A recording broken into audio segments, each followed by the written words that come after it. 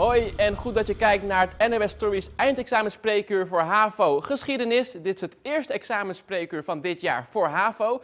Het kan zijn dat je net bedrijfseconomie hebt gemaakt. Nou, hopelijk ging dat dan goed. Maar nu gaan we het dus hebben over geschiedenis. Je kon van tevoren vragen insturen via een vragenlijst op Insta en hier op YouTube. En je kan nu ook live allerlei vragen stellen in de chat. Doe dat dus ook. Dan gaan we nu beginnen.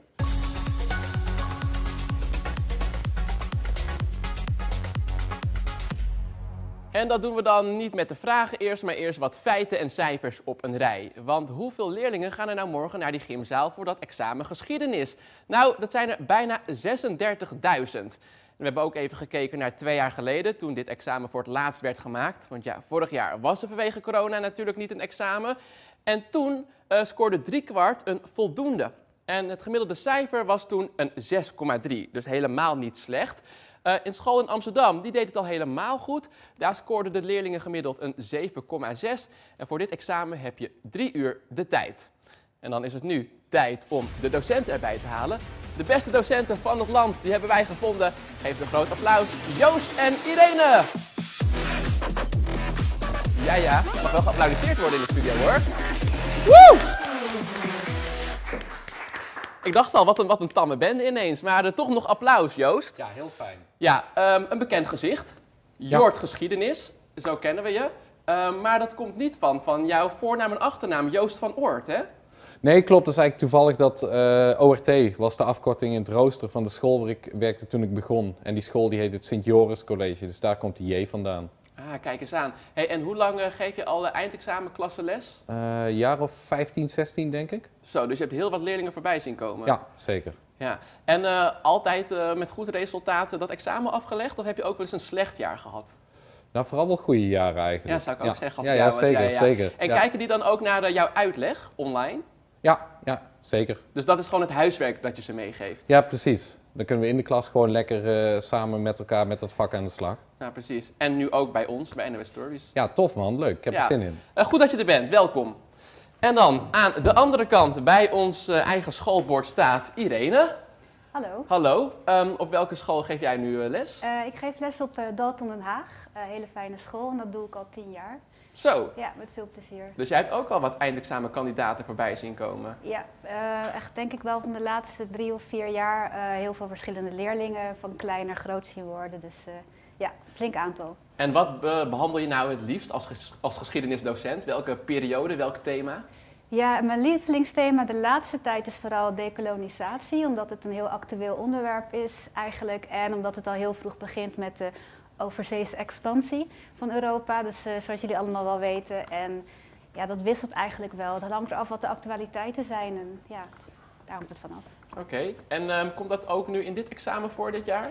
Ja, dat komt er zeker in voor. Uh, bij het onderwerp Nederland, het komt bij het onderwerp Britse Rijk. Maar dat weten jullie allemaal ook als het goed is. Dus, dus we gaan er uh, nog veel over horen dit uur. Heel veel, inderdaad. Oké, okay, gelukkig. Ja. Nou, laten we dan snel doorgaan naar de vragen. Ja. En ik zei het al in het begin, jullie konden die insturen via onze uh, YouTube en Insta, een vragenlijst. Heeft ook Marloes gedaan. Die heeft een vraag over wat we dan noemen kenmerkende aspecten. Ik ben Marloes, ik ben 18 jaar en ik zit op Johannes Fontanus College in Barneveld. Ik doe geschiedenisexamen dit jaar en bij geschiedenis krijg je altijd zo'n moeilijke vraag met de bron en het kenmerkende aspect. En mijn vraag is, hoe kan ik nou dat kenmerkende aspect goed vergelijken met de bron en hoe kan ik ze nou goed toepassen? Ja, weet jij het antwoord hierop, Irene? Uh, nou, ten eerste Marloes, dat is een hele goede vraag, want je noemt eigenlijk uh, twee verschillende dingen die in één vraag gestopt worden, namelijk brongebruik, dat is een vaardigheid, en kenmerkende aspecten. En daar moet je dus twee dingen voor kunnen. Je moet informatie uit een bron kunnen halen en die moet je kunnen koppelen aan het kenmerkende aspect dat er gevraagd wordt. Uh, nou ja, dat is ook een van de eindexamen, um, um, het streven om dat goed te maken. En dat is dus één belangrijk onderdeel. Een bron, ik weet niet precies wat voor soort bron je bedoelt. Het kan een tekstbron zijn, het kan een spotprint zijn, het kan een, uh, een krantenartikel zijn of een foto. Dus daar moet je eerst heel goed naar kijken. Naar wat voor soort bron kijk ik eigenlijk. Um, ja, welk kenmerkend aspect zou het bij kunnen passen? Daar kijk je heel goed voor in welk tijdperk je zit. Stel je zit aan het begin van je examen, dan kan het zijn dat het iets is uit misschien 1500, 1600. En dat kan dus misschien zijn Europese expansie over zee, maar daarvoor moet je eigenlijk heel goed naar de bron kijken. Uh, je kijkt ook naar alle jaartallen die erboven staan. Dus als bijvoorbeeld het jaartal 1565 bij staat, dan weet je al een beetje welk kenmerkend aspect kan dit in ieder geval niet zijn, namelijk alles wat daar veel later komt. Um, je kijkt ook even of er misschien een naam bij staat die je bekend voorkomt. Je kijkt naar de toelichting die bij een bron staat. En al die informatie die verzamel je en op een gegeven moment denk je, ik herken hier iets over uh, de expansie van Europa, namelijk de uh, Engelsen die naar Amerika gaan.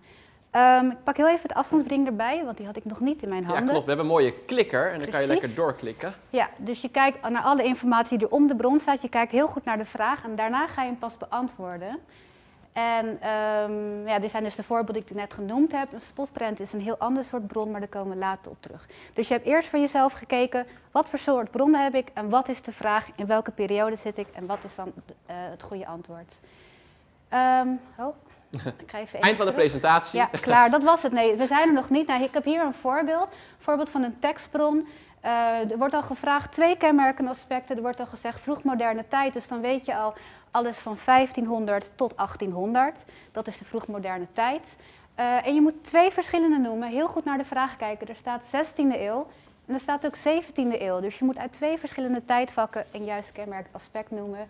Kijk je naar de bron, even kort gezegd, Nederlandse zeevaarder, Korea, 1596, die naar China Japan gaat. De korte conclusie is Europese expansie over zee, um, want het gaat namelijk om een land dat nog niet ontdekt is. Uh, welk kenmerk aspect van de 17e eeuw is al um, in de bron herkenbaar? Je kan bijvoorbeeld denken aan um, wereldhandel, je kan misschien al denken aan uh, de republiek, staat er ook nog bij. Dus dat zijn alle hints die je kan gebruiken. Dus korte, korte antwoord is, kijk heel goed naar de vraag. Kijk heel goed naar uh, de soort bron. En daarna beantwoord, antwoord je deze vraag. En meestal is het ook al een vraag van twee punten of misschien wel vier punten. Dus best wel belangrijk. Het is een hele goede vraag, Marloes. En het is uh, niet makkelijk om dat kort uit te leggen. Maar ik hoop dat het nu wel een beetje duidelijk is geworden voor jou en voor de andere leerlingen in Nederland. Ja, maar je had het net over een aantal punten dat je hiermee kan scoren. Ja. Dus hoeveel procent van het examen is dat dan ongeveer? Uh, kenmerkende aspecten, ja, die zitten eigenlijk door het hele examen. Um, je hebt drie historische contexten, dus misschien even abracadabra voor jou, weet ik niet. Je hebt drie verschillende historische contexten, daar zitten de kenmerkende aspecten in. Daarnaast heb je nog 25% met losse uh, aspecten die niet per se bij het Britse Rijk of bij Nederland of bij Duitsland zitten. Dus um, kenmerkende aspecten die komen zeker terug in je examen en die gaan zeker voor een belangrijk deel meetellen. Ja, precies. Dus als je denkt, wow, dit is niet zo'n belangrijk deel, ik hoef het niet zo goed te weten, dan heb je het fout, want het ja. zit door het hele examen heen. Precies, ja. En dat is eigenlijk gewoon de kern van wat je moet leren. En ik snap dat het moeilijk is en dat het veel is, maar de vraagstelling gaat je een heel eind op weg helpen. Top. Dankjewel voor okay. nu Irene. Blijf lekker staan. Ja. Ga ik weer naar mijn plek toe, want we gaan verder met vraag nummer 2. En dan spiek ik even op mijn schermpje onder in de camera, want daar staat hoe zit het met de historische context? Nou, je noemde het net al, Irene, de historische contexten. Ik zou zeggen, ga er lekker op door. Ja, um, dat is een uh, vraag die inderdaad van tevoren ook gesteld is. En even kijken of die dan hier tevoorschijn komt. Nee, er zit een PowerPoint bij. Um, maar historische contexten en kenmerken aspecten die zitten heel vaak in elkaar verweven. En sommige kenmerken aspecten die horen typisch bij een historische context. Even kort samengevat, je hebt drie historische contexten over het Britse Rijk. Dat is van de periode van 1585 helemaal tot aan 1900. Dat is zo'n lange periode, inclusief kenmerken aspecten. Daarnaast heb je de tweede historische context, die gaat over Duitsland. En dat is vanaf 1918 tot en met uh, 1991. Die is een stuk kleiner en die zit wat meer aan het einde. En op de achtergrond zie je ze al verschijnen. En dan heb je de derde historische context, Nederland. En die begint ook vanaf laat, namelijk 1948 tot en met 2008. En die is wat kleiner. Um, in je verschillende boeken die je hebt, heb je leidende vragen. En die kunnen als paragrafen ingedeeld zijn in je boek. Um, dit gaat over het Britse Rijk. Drie verschillende paragrafen, drie vragen. En dan zie je eigenlijk al, de eerste vraag gaat vooral over de Engelse kolonie in Amerika voordat ze de Verenigde Staten worden. De tweede leidende vraag of paragraaf gaat over India. Uh, het Britse Rijk is een wereldrijk, dus je kijkt niet alleen maar naar Engeland zelf, maar je kijkt naar helemaal Amerika. En we gaan in de tweede paragraaf gaan we naar India. En in de derde paragraaf gaan we eigenlijk terug naar het grote moederland van het Britse Rijk. En dan kijken we naar de sociaal-economische ontwikkelingen. Um, dit is denk ik een van de moeilijke historische contexten, omdat het vooral een hele grote periode betreft. Ehm, ja, bijna 300 jaar moet je dus eigenlijk kennen en ook nog eens over drie verschillende werelddelen. Eh, de volgende, en deze telt voor ongeveer 25% mee, dus 25% van de punten van de vragen zullen hierover gaan. Eh, die over Nederland, oh ja, dat is naar beneden. Ja. Eh, over Duitsland, die is wat korter, maar er gaan ook nog steeds die vragen over opkomst van het nationaal socialisme tussen de Eerste Wereldoorlog en de Tweede Wereldoorlog. Daarna eigenlijk vooral de Koude Oorlog, welke rol die heeft gespeeld in de geschiedenis van Duitsland. En daarna de eenwording. En daar zitten ook kenmerken aspecten bij die per paragraaf ingedeeld zijn. Ook 25% En de laatste dus is Nederland. Uh, die is wat kleiner, nog steeds even belangrijk. Gaat natuurlijk ook over je eigen geschiedenis. Um, ook 25% En daar gaat het over de periode 1948 na de Tweede Wereldoorlog, babyboom, wederopbouw tot 1978. Um, ehm, ja, denk aan uh, de, oliecrisis en het beleid van Lubbers vanaf 1978 tot 2008, tot de laatste crisis die we hebben gehad. Um, dat was een hele algemene vraag met misschien een algemeen antwoord, maar ik hoop dat het voor jullie wat duidelijker is geworden.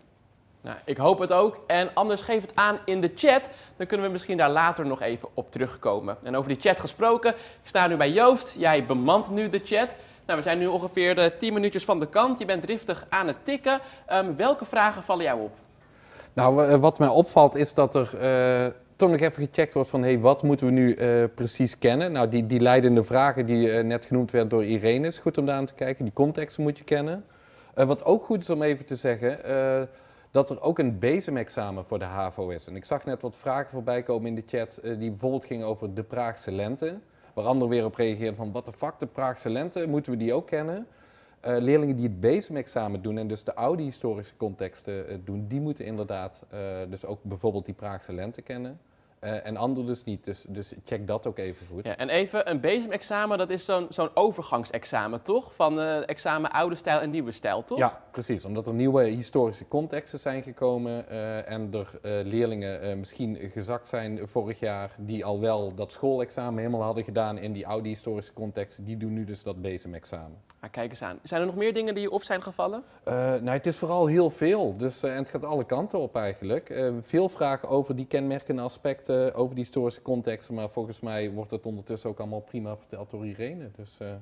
Nou, top. Ja. Ga lekker door met tikken, zou ik zeggen.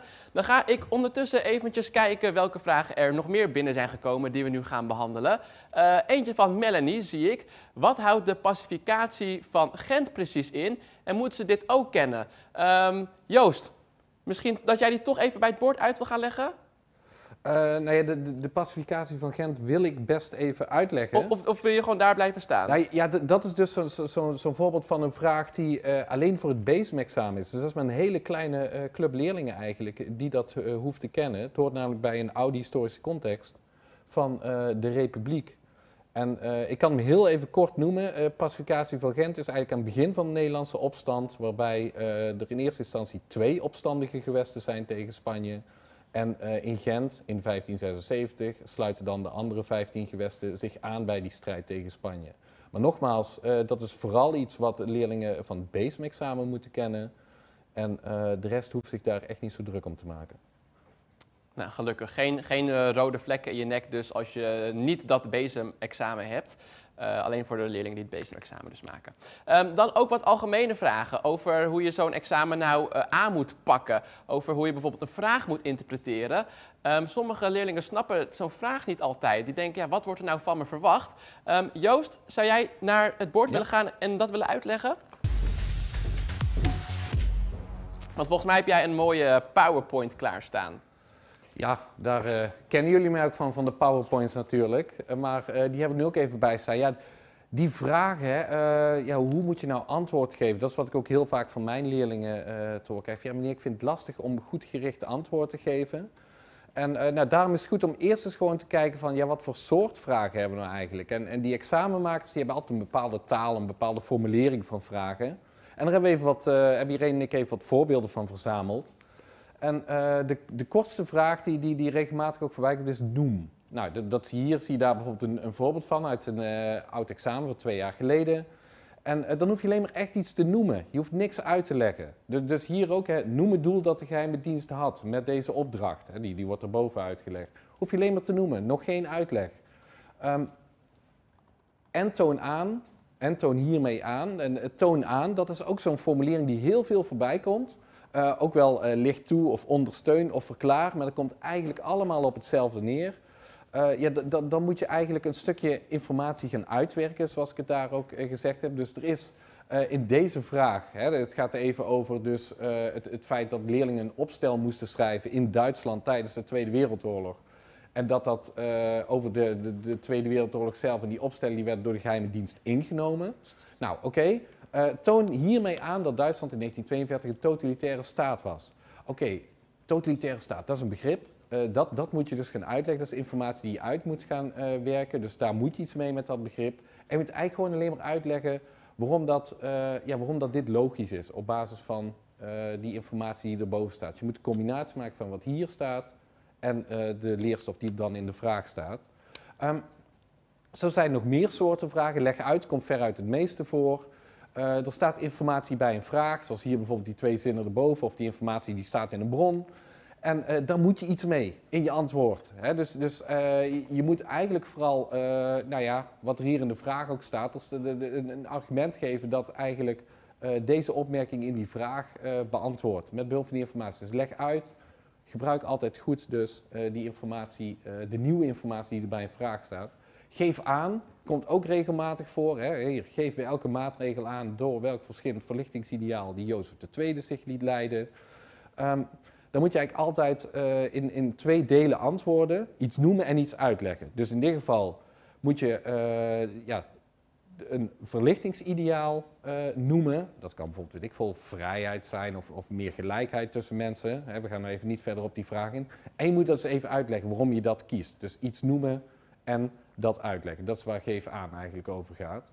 Uh, en een hele belangrijke uh, formulering die vaak voorbij komt bij examenvragen zijn de woorden met een verwijzing naar de bron. Dat ga je heel veel tegenkomen morgen op je examen ook. Je gaat sowieso veel bronnen tegenkomen. Hè. Waarschijnlijk zullen dat er wel weer een stuk of 11, 12 zijn. Dat zijn teksten, dat zijn afbeeldingen zoals hier. Dat kunnen ook nog tabellen of misschien zelfs kaartjes zijn. Um, en dan staat er heel vaak in de vraag met een verwijzing naar de bron. Nou, dan moet je dus altijd iets uit die bron noemen. Hè. Dus in de bron staat dat. Of in dit geval, in de bron zie je dat. Of de meneer in de bron zegt dit of dat. Dus echt concreet iets uit die bron noemen. Uh, je mag citeren, maar zorg er dan voor dat je dus wel uh, niet zo de halve bron citeert, maar echt dat ook concreet maakt. En vervolgens moet je dat dan dus ook uitleggen, uh, vaak, ja, waarom je dan precies dat, dat stuk uit de bron hebt gehaald. Maar staat erbij met een verwijzing naar de bron, altijd iets uit die bron noemen. Doe je dat niet en is de rest van je antwoord wel goed, en kan ik bijvoorbeeld uit jouw antwoord ook opmaken dat het klopt. Als er geen concrete verwijzing naar de bron staat, mag ik daar in ieder geval geen punt voor geven. Zou toch jammer zijn.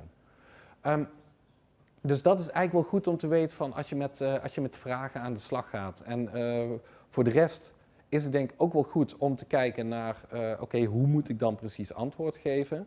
Ik heb eens ooit een eh, paar jaar geleden kwam ik iets tegen dat, dat heette OUD, O-U-D. En dat was eigenlijk wel een heel handige methode die ik nou ook tegen mijn leerlingen vaak uh, vertel. Uh, de O die staat voor omdat. Dus als je een vraag gaat antwoorden, dan herhaal je de kern van de vraag. En dan omdat. En dan komt de U, de U van uitleg. Dan geef je je uitleg. En vervolgens sluit je altijd af met een conclusie. En dat is de D van dus. Dus omdat, uitleg en dus. Als je op die manier antwoordt, uh, ja, dan weet je in ieder geval dat je op de goede manier antwoordt. En ja, check dus ook altijd goed of alle elementen die gevraagd zijn erin zitten. Um, ja, even nog wat, wat, wat, wat dingen die uh, vaak uh, voorbij komen. Typische woorden die de examenmakers gebruiken, ik heel snel doorheen. Maar het is wel belangrijk om even goed bij stil te staan, we zien het helaas nog vaak misgaan. Politiek, economie, sociaal, dat soort zaken. Heren, bijvoorbeeld, hè, noem een economische verandering, noem een sociale verandering. Noem dan dus ook een economische verandering en geen politieke verandering. Het is politiek. Het gaat over bestuur, het gaat over macht, economie. Dat gaat over geld verdienen, dingen produceren, maar middelen van bestaan dus eigenlijk. Het kan ook ruilhandel of iets dergelijks zijn. En sociaal vinden leerlingen vaak het, het, het, vaakste bericht. Dat gaat over de verschillen die er zijn binnen de bevolking. Hè. Verschillen tussen arm en rijk, tussen man en vrouw en dergelijke. En hoe mensen leven, de leefomstandigheden. Uh, nog zo'n uh, woord, een bewering, komt heel vaak voorbij. Uh, dan geven de examenmakers een bewering een stellige uitspraak dus dat iets zo is. En jij moet vooral uitleggen waarom die bewering klopt. Uh, eenzijdig, is ook zo'n woord wat voorbij komt. Eh, er zal waarschijnlijk een vraag over in zitten dat jij moet gaan zeggen dat een kijk op iets eenzijdig is. Hè, zoals we hier bijvoorbeeld bij deze vraag ook zien. Nee, eenzijdig wil eh, zeggen dat je iets van één kant bekijkt. Ik ben NEC-supporter, dus als ik iets over NEC zeg, dan weet je zeker dat dat heel eenzijdig gaat zijn. Want ik, ik kijk alleen maar vanuit mijn eigen clubje. Dus kijk altijd goed naar wie er dan dus iets zegt. Hè. Dus welke persoon dat is, of in dit geval komt het uit een communistisch dagblad, hè. dat is dus de maker ervan. Nou ja, dat, dat is bij eenzijdigheid heel belangrijk om naar te kijken. En als laatste een woord wat uh, ook vaak gebruikt wordt door examenmakers, maar waar leerlingen toch ook wel vaak uh, ja, toch nog wat moeite mee hebben, dat is het woord verband. Klinkt eigenlijk als een heel simpel woord, maar uh, als de examenmakers om een verband vragen, dan vragen ze altijd om een oorzakelijk verband. Waarom leidt dit nou tot dit? En, en wat we ook vaak zien is dat leerlingen dan in plaats van een verband een overeenkomst geven. Hey, dit lijkt op dit, maar daar gaat het niet om. Het gaat altijd om een oorzakelijk verband. Uh, heel veel dingen dus waar je op kunt letten als je dus uh, een, een, vraag moet beantwoorden. Belangrijkste komt denk ik op neer, lees die vraag gewoon goed, kijk goed wat er van je verwacht wordt. En uh, ja, dus hou dat oud-model aan. Hè? Dus, dus herhaal die kern van de vraag, omdat, dan de uitleg en sluit af met die conclusie. Dus. Dankjewel Joost. Als je nu later inschakelt, je kijkt naar het NWS Stories eindexamenspreekuur HAVO Geschiedenis, heb je daar vragen over? Je kan je vragen nog steeds insturen via de chat. Onze redactie hier eh, achter de schermen houdt eh, alle vragen goed in de gaten. Dus echt alles wordt gelezen, kan ik je garanderen. En de vragen die veel terugkomen, die behandelen we dan hier met onze docenten Joost en Irene. Veel vragen komen binnen ook over de Hongaarse opstand. Um, best wel een algemene vraag. Uh, ik wil je daarom aanraden, als je vraag stelt, wees ook zo specifiek mogelijk. Um, deze vraag over de Hongaarse opstand die komt van Fleur, best wel algemene vraag dus. Die vraagt zich af, Joost, hoe zit het daarmee? Wat moet ik daarvan weten?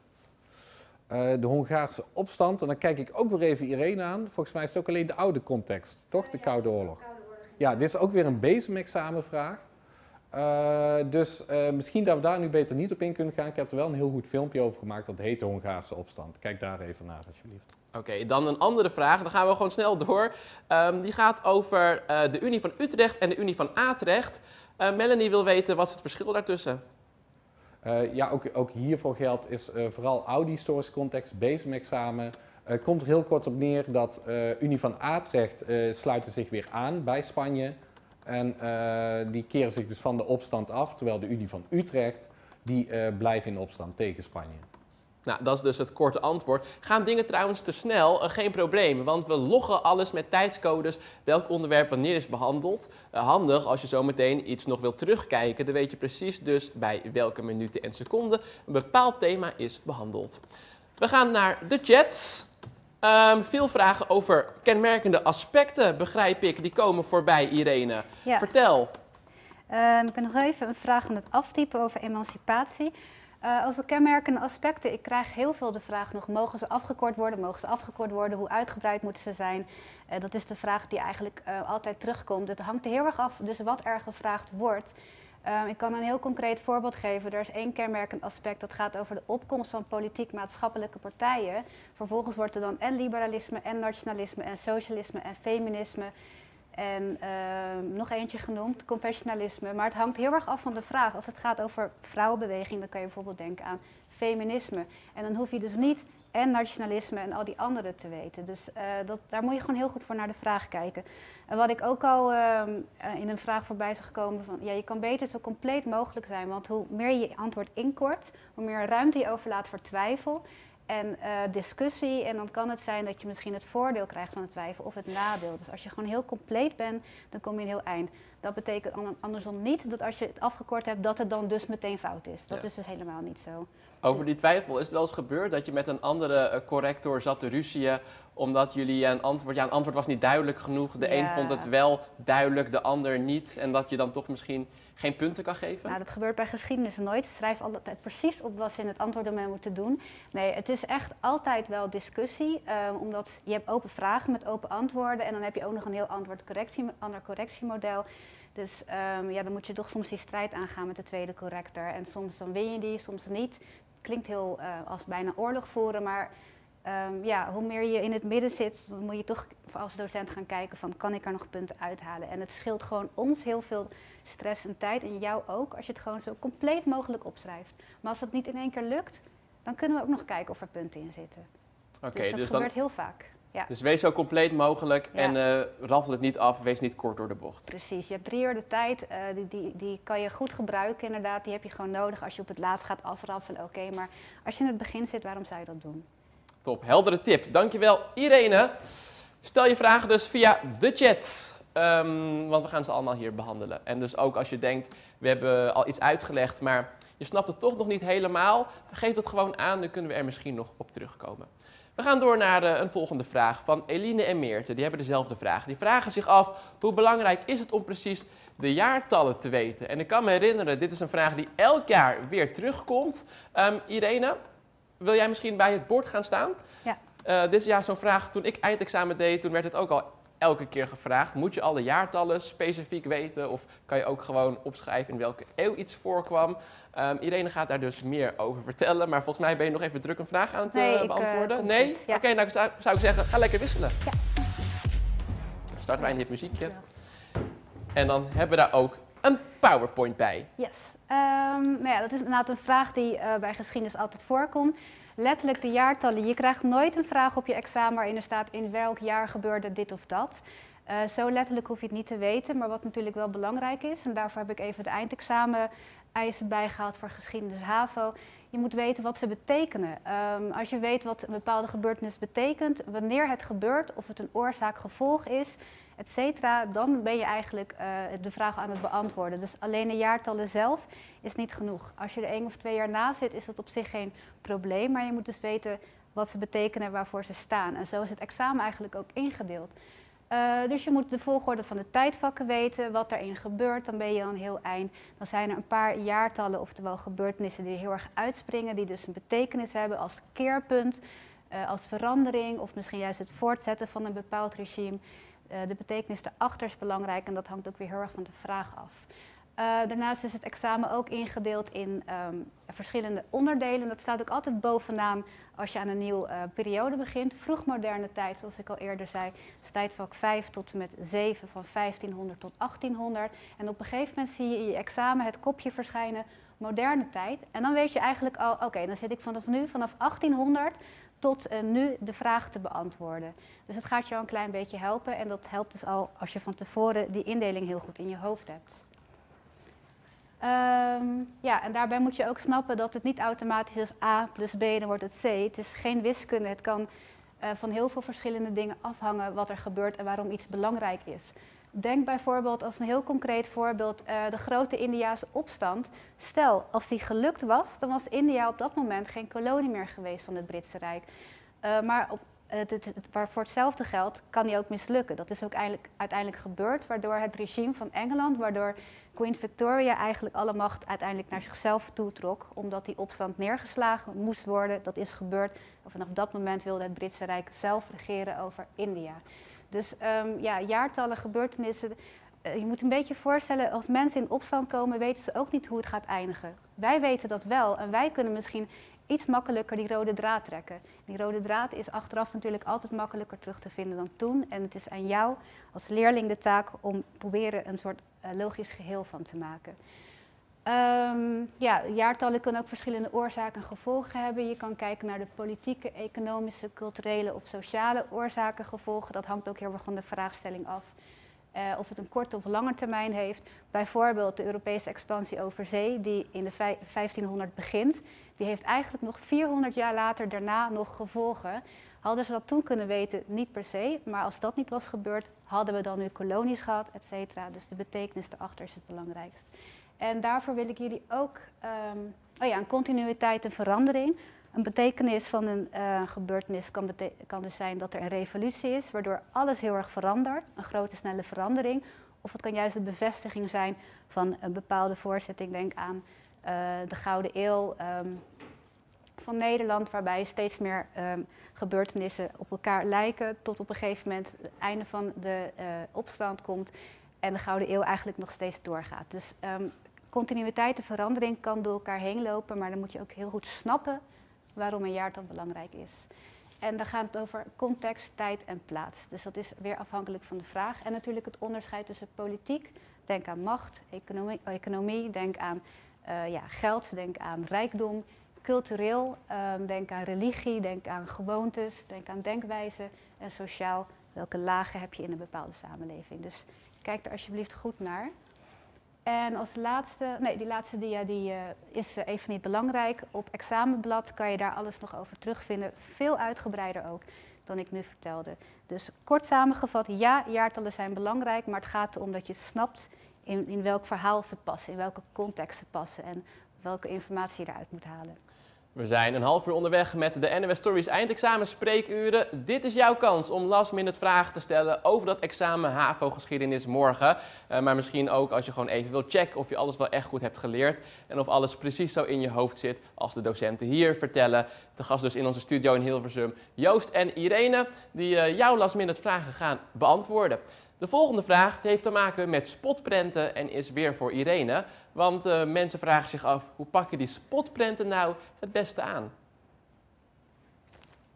Ja, spotprenten zijn dus die bronnen die eigenlijk uh, net een extra laag hebben. We hebben het al eerder gehad over soorten bronnen zoals dagboekfragmenten, krantenartikelen, foto's, grafieken. Uh, ik wilde zelf nog wat extra aandacht besteden aan een spotprent, omdat de maker van zo'n spotprent vaak het tegenovergestelde bedoelt dan wat hij eigenlijk zegt. Je moet eigenlijk een beetje een sarcastische toon onder denken. Uh, bijvoorbeeld deze vraag was een moeilijke vraag voor mijn leerlingen vorig jaar. Ik snap heel goed waarom, maar dit is ook een perfect voorbeeld om te laten zien waar de moeilijkheid zit. Nou, gebruik de bron. Het is een spotprent en eigenlijk moeten al je alarmbellen al gaan rinkelen. Een spotprent. Oké, dus wat ik nu te zien ga krijgen, daarmee wordt iets of iemand bespot. Nou, ga je goed naar de bron kijken. Dan zie je dus bijvoorbeeld bij deze spotprint, ziet er allemaal heel serieus uit. Het is geen makkelijke dat je ziet, een bepaalde groep mensen zijn heel lelijk of groot afgebeeld en andere mensen heel erg uh, mooi en knap. Want heel vaak kan je daaraan ook zien hoe, uh, welke kant de tekenaar kiest. Als bijvoorbeeld Hitler belachelijk wordt afgebeeld, dan weet je, oh nou dat is duidelijk iemand die tegen Hitler is. En als, iemand, als Hitler juist heldhaftig wordt afgebeeld, dan kan je ook al een beetje bedenken van volgens mij is die tekenaar juist voor hem, staat aan zijn kant. Nou, deze is moeilijk, want het ziet er heel neutraal uit. Uh, de toelichting, altijd belangrijk. Nou, Britse spotprint, begin van de 19e eeuw. Dan zitten we eigenlijk al een beetje aan het einde van de historische context. Uh, Britse Rijk, uh, 19e eeuw. En dan zie je een paar mensen aan het werk, een paar donkergekleurde mensen, Afrikanen, zie je aan het werk. Dus dan kan je meteen gaan denken, oh, dit gaat misschien over abolitionisme, namelijk over de bevrijding van slaven. Of misschien gaat het gewoon over slavernij. En dan zie je bij de toelichting de vertaling staan, want die krijg je ook altijd. Uh, wij proberen het je niet moeilijk te maken, maar juist een bron te geven en net de dingen gratis aan jou mee te geven, zodat jij de vraag kan beantwoorden. En er staat op vertaling, arme zielen, ze kunnen niet eens voor zichzelf zorgen. En dan als je je afvraagt wie zegt dat dan, nou, dan zie je het hier op de achtergrond staan. Deze twee mensen, Engelsen, helemaal wit afgebeeld, die lopen hier en die zeggen poor things, arme zielen, ze kunnen niet eens voor zichzelf zorgen. En dan kijk je, wat zijn ze eigenlijk aan het doen? Ze zijn um, ja, aan, het, uh, aan het planten, aan het graven, waarschijnlijk onkruid aan het wieden of misschien gewas aan het planten. Ze zijn iets aan het bouwen, misschien een huis aan het bouwen. Op de achtergrond zie je nog iemand iets maken, eten maken. Dus eigenlijk kunnen ze juist wel goed voor zichzelf zorgen. Oftewel, arme zielen, ze kunnen niet eens voor zichzelf zorgen, is eigenlijk heel sarcastisch bedoeld. Ze kunnen niet eens voor zichzelf zorgen. Oftewel, waarom zouden we slaven vrijlaten? Want ze kunnen helemaal niet zonder ons. Maar eigenlijk wordt er gezegd, ze kunnen prima voor zichzelf zorgen. Dus deze tekenaar is voor abolitionisme, abolish, hij wil heel graag de slavernij afschaffen. Want het excuus dat arme Afrikanen niet voor zichzelf kunnen zorgen, is volgens hem helemaal ongeldig. Dat kunnen ze juist wel. Gebruik je antwoord een beeldelement, mag je ook de tekst gebruiken of wat je zelf ziet. Uh, je kan ook nog de toelichting erbij gebruiken en dan krijg je dus twee punten voor. Als je de bron niet gebruikt, heb je heel vaak nul punten. Dus gebruik alsjeblieft abolitionisme, leg dat uit of je dat voor of tegenspreekt, de mening van de tekenaar, plus een aspect van de bron. Ik heb nog een hele andere erbij gepakt. Uh, nou, hier zie je het eigenlijk al, um, andere spotprints. Wat krijg je allemaal gratis mee? Het jaartal 1948, Sinterklaas. Nou ja, Sinterklaas, denken we aan december, denken we aan Nederland misschien. Eerlijk zullen we alles delen. Je ziet een grote taart waar Berlijn op staat, dat staat er ook nog bij. Als je denkt, ik weet niet wie al die figuren zijn, dat geven we ook heel vaak aan je mee. De leiders van de belangrijkste landen, Sovjet-Unie, die herken je hopelijk wel. Stalin met de snor, ook al is hij belachelijk verkleed als Sinterklaas. Uh, Marianne van Frankrijk, symbolisch voor Frankrijk. John Boo, symbolisch voor Groot-Brittannië. En Uncle Sam, symbolisch voor Amerika. En er staat, eerlijk zullen we alles delen. Is dit eerlijk? Een hele grote taart. Zij krijgen met z'n drieën zo'n klein stukje. Kijk ook hoe moeilijk ze kijken. Het is juist niet eerlijk. Oftewel, de tekenaar vindt dat Stalin heel oneerlijk is in de verdeling van Berlijn. Wat gebeurt er ook weer in 1948? Meteen een goed voorbeeld van een jaartal. Het is niet het einde van de Tweede Wereldoorlog, het is niet Jalta of Potsdam. Het zit net wat later, namelijk de blokkade van Berlijn. Stalin wil het hele Berlijn voor zichzelf houden, maar gelukkig weten ze een luchtbrug te houden met vliegtuigen, voedsel te droppen in het westelijke deel van Berlijn, waardoor dit eigenlijk mislukt. Um, nou ja, drie punten kan je krijgen zonder bron. Welke situatie? Berlijn in 1948. Dus moet je jaartal goed kennen, de gebeurtenis goed kennen. Verwijzing naar de bron heb ik net al genoemd, stukje taart oneerlijk verdeeld. En welke mening van de tekenaar, het is dus helemaal niet eerlijk, want het is zo'n taart en hij geeft zo'n klein stukje weg aan de ander. Dankjewel. Ik ben heel benieuwd of je alles snapt. Je kan het natuurlijk achterlaten in de chat. Maar ik ben eigenlijk ook wel benieuwd of je misschien even met ons zou willen videobellen. Um, geef het dan ook even aan in de chat. Zoek onze redactie contact met je. En dan kunnen we eventjes bij jou misschien in je slaapkamer spieken of op je zolderkamer, hoe je ook studeert. Ik ben heel erg benieuwd. Ga ik nu even naar de chat, want daar staat nog steeds een van onze geschiedenishelden, Joost, oftewel Jord Geschiedenis. Ja, welke vragen komen weer veel terug? Nou, je ziet dat er nu best wel wat vragen binnenkomen over uh, betrouwbaarheid en representativiteit uh, van bronnen. En ja, dat, daar gaat een vraag over in het examen zitten waarschijnlijk. Dus je, dus je krijgt een bron en, en uh, je krijgt erbij ook een onderzoeksvraag. Stel, je maakt een werkstuk over en je hebt dan deze bron. En dan zegt de vraag vaak al of die betrouwbaar is of, of niet bijvoorbeeld. En jij moet dan gaan uitleggen waarom dat zo is. En er komen heel veel vragen binnen over, nee, wat is dan precies betrouwbaarheid? Waar moet ik op letten? En een van de belangrijkste dingen waar je moet letten bij betrouwbaarheid van een bron is wie de maker van de bron is. Ik noemde straks al even dat ik bijvoorbeeld een NEC-supporter ben. Nou ja, als er dus een wedstrijdverslag is, NEC tegen, weet ik veel, tegen Ajax of zo, dan is de kans heel groot dat ik vooral heel veel positieve dingen over NEC ga zeggen. Omdat ik, ja, dat, dat, dat is mijn achtergrond, daar, sta ik voor. Uh, dus daar kun je naar kijken. Of waar heeft die maker dan bijvoorbeeld zijn informatie vandaan gehaald? Hetzelfde als, heeft hij het, was hij er direct bij of heeft hij het van horen zeggen? Hetzelfde als dat, dat, dat spelletje wat je vroeger in de kleuterklas had, als je in de kring zat. Hè, ik fluister iets bij jou in het oor en dat gaat door naar de volgende. En aan het einde van de rij komt er iets heel anders uit. Ja, dan, dan weet je het al. Ja, die informatie is niet zo heel betrouwbaar. Dus, dus bij betrouwbaarheid let goed op die maker van die bron. Waar heeft hij zijn informatie vandaan gehaald? En je kunt er ook nog naar de tijd kijken. Ik bedoel, ik kan nu dadelijk kan ik nog prima vertellen uh, wat hier allemaal gebeurd is en wat Irene bijvoorbeeld gezegd heeft. Maar vraag ik me over tien jaar en dan weet ik het niet meer. Dus, dus dat zijn allemaal dingen om rekening mee te houden. Ja, precies. Um, ook nog veel vragen over wat je nou in dat BSM-examen krijgt en wat je nou in het, in het examen van nu krijgt, zeg maar. Ja. Er is veel verwarring over, merkten we eerder ook al in de livestream. Kun je daar misschien nog kort op ingaan? Ja, nou ja, ik, ik, ik denk dat, dat, dat uh, 99% van de mensen, zeg maar, de, dat die zich echt niet druk hoeven te gaan maken nu over een BSM-examen. Dat ze zich juist nu, omdat ze het woord nu misschien wel voor het eerst horen, denken van, oh, wat, wat krijgen we nou? Um, als je, jij moet gewoon, bijna iedereen moet gewoon uh, tijdvak 5 tot en met 10 kennen. En die drie historische contexten die Irene straks ook al een aantal keer genoemd heeft. Het Britse Rijk, Duitsland in Europa en Nederland. En uh, die, die, die paar mensen die al eerder examen hebben gedaan, die, uh, ja, die, die, hebben drie andere historische contexten. Dus de Republiek, een andere versie van Duitsland en de Koude Oorlog. Ja, maar de meeste mensen kunnen gewoon dat gedoe over dat bezemexamen vergeten. Ja, als je nog nooit eerder van het woord bezemexamen gehoord hebt, dan is het waarschijnlijk niet op jou van toepassing. Dat komt gewoon heel dan hoef je er ook niks over te weten. Nee, precies. Nou, top. Dankjewel voor je uitleg gaan we even kijken naar de volgende vraag. Wat is het verband tussen eh, het verdrag van, uh, even kijken, hoe spreek ik dit uit? Allahabad en de Amerikaanse onafhankelijkheid. Sprak ik het goed uit, Joost? Allahabad. Oké, nou, je, je weet het duidelijk beter waar ik het over heb. Zou je het misschien ook uit willen leggen op het bord?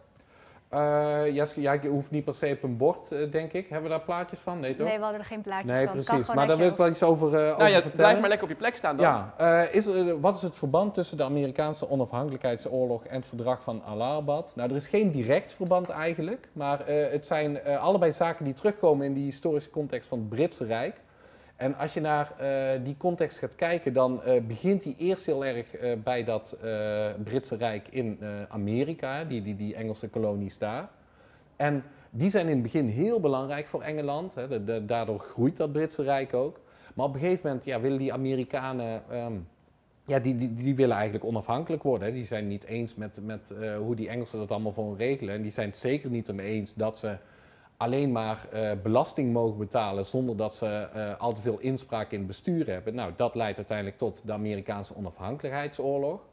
En die hele onvrede, die vindt ongeveer tegelijkertijd plaats met dat in India ook eh, dat verdrag van Allahabad is afgesloten. Hè. Dus dat verdrag van Allahabad is 1765. Eh, nou, tien jaar later zijn die Amerikanen onaf- onafhankelijk. En er zit een soort overgang zit er eigenlijk in. Dus in het begin zijn die Amerikaanse koloniën heel erg belangrijk voor de Britten.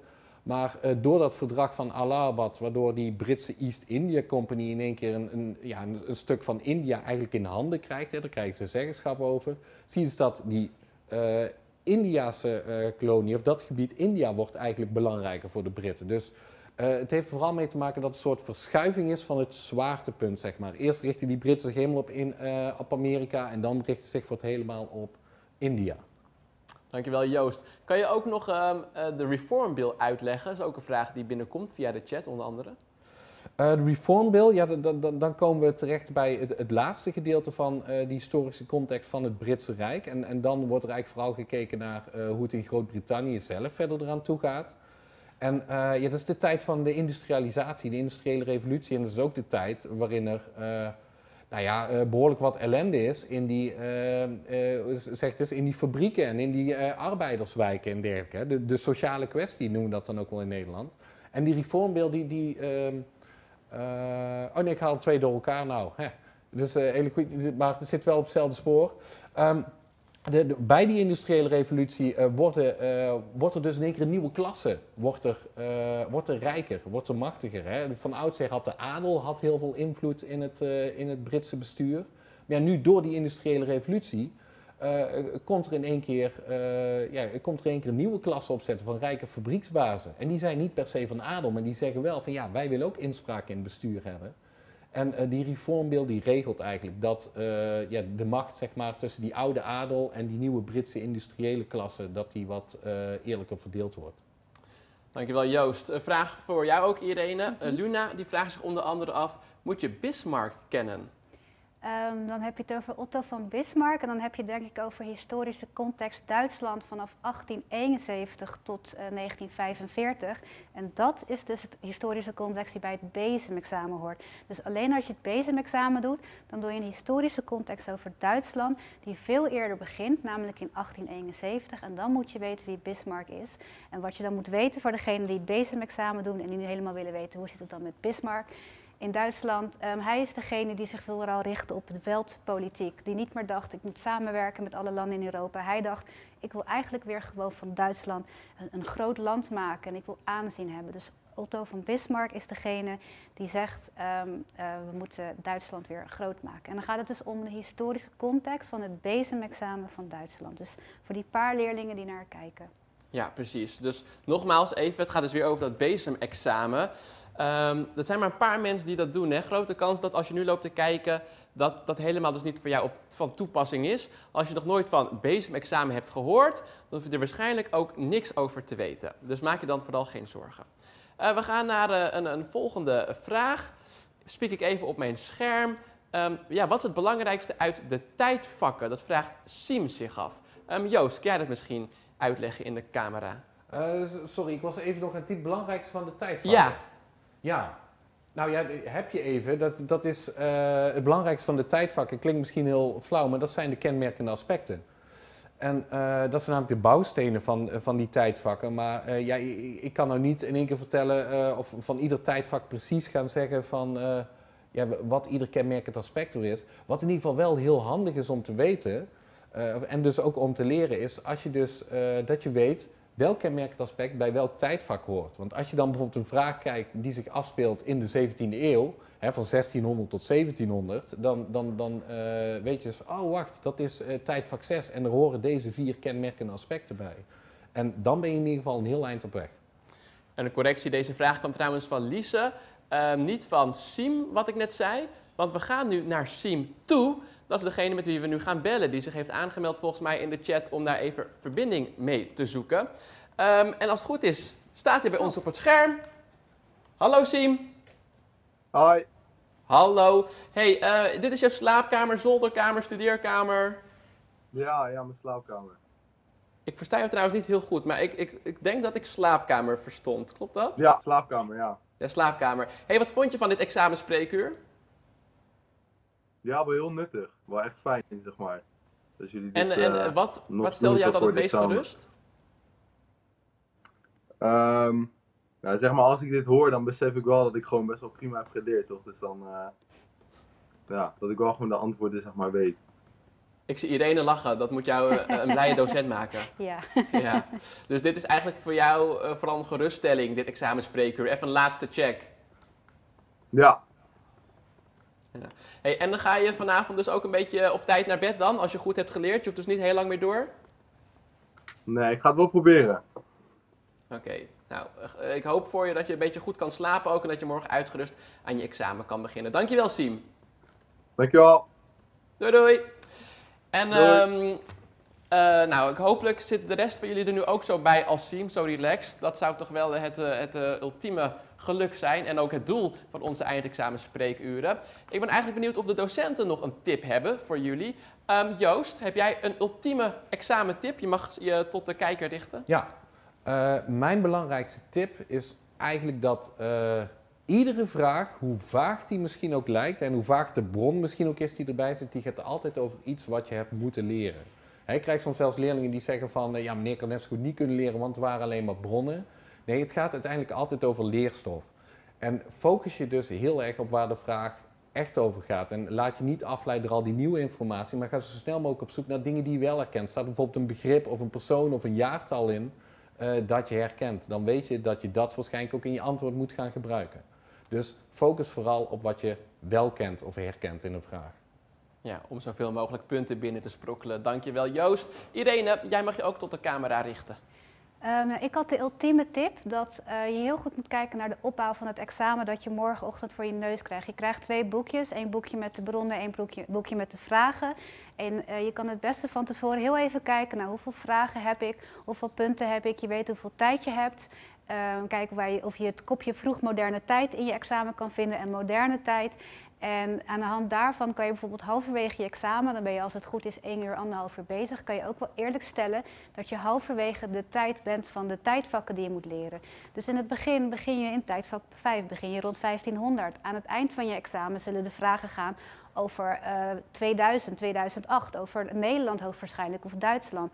Dus hoe jij hebt geleerd, ehm, hoe de tijd in elkaar zit, de jaartallen weer, zo zit het examen ook in elkaar. Dus kijk er heel goed naar en als je het echt even niet weet, denk je, oh, maar ik zit bij vraag 5, kan je die even overslaan en dan kan je later bedenken, ja, dat is het begin van het examen, dus misschien zal het wel gaan over 1500, 1600, misschien 1700, maar echt niet later. En heel veel succes morgen. Schakel je nou eh, later in, denk je, oh, ik heb alles gemist. Nou, no worries, want dit examenspreekuur is gewoon terug te kijken. We gaan zo meteen gelijk alle tijdscodes ook onderin zetten, zodat je precies eh, naar de, de, de juiste hoofdstukken kan skippen waar jouw thema, jouw onderwerp wordt behandeld, waar je zo ja, veel vragen nog over hebt. Ehm, ik wens je ook heel veel succes morgen met je examengeschiedenis. Ehm, morgen zijn we er trouwens weer met een nieuw NOS Stories eindexamenspreekuur. Dan behandelen we Nederlands voor de HAVO. Dat is om half negen 's avonds. Voor nu hoop ik dat je lekker kan eten en daarna vroeg naar bed kan gaan om zo uitgerust mogelijk aan je examen morgen te beginnen. En hopelijk tot het volgende spreekuur. Doei doei!